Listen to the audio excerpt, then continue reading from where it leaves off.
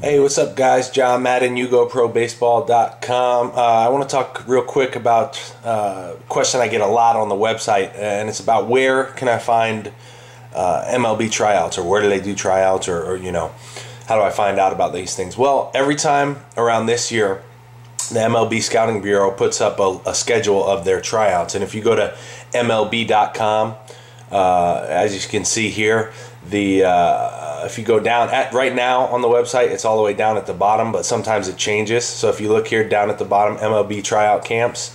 Um, if you click that, it'll bring up the uh, Scouting Bureau tryout camp schedule, and you can see here. Uh, they've got about one, two, three, four, five, six, seven, eight, about ten or so uh, tryouts right now. Um, and they usually put this list up around this time of year. I think it came up a few weeks ago, uh, this list.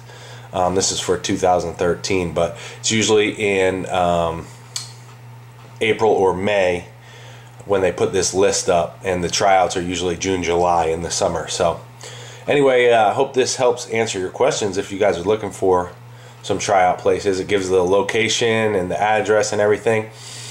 Um, and then just read the uh, you know read what you got to do. It tells you what you got to do here, uh, you know, with the liability waiver and, and how to how to go about signing up for this stuff. So uh, anyway, hope this helps. Talk to you soon.